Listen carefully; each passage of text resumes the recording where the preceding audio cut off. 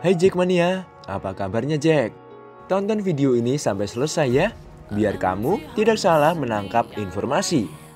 Setelah itu, diskusikan di kolom komentar ya.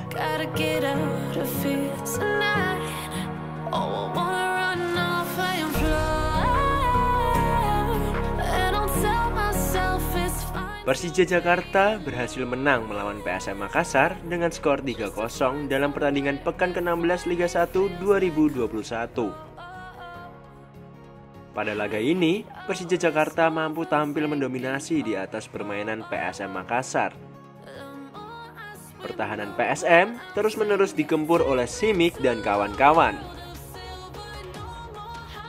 Hingga akhirnya Hilmansyah harus menerima kenyataan gawangnya kebobolan tiga kali dari anak asuhan Coach Angelo Alessio.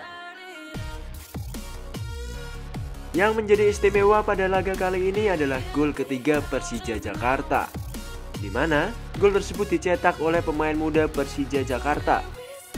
Brevatari mencatatkan namanya sebagai salah satu pemain muda yang potensial di lini depan Persija Jakarta.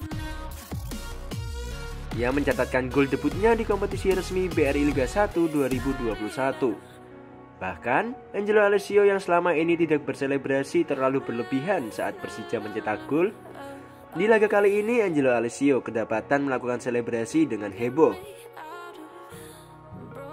Hal itu didasari rasa senangnya memberikan kesempatan pemain muda yang mampu memanfaatkan kesempatan tersebut.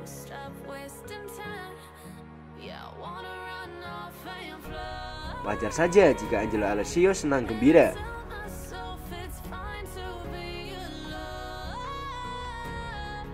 Mari kita support terus Coach Angelo dan Persija Jakarta. Semoga pada laga melawan PSM kemarin menjadi titik balik Persija untuk bermain baik lagi di laga yang akan datang.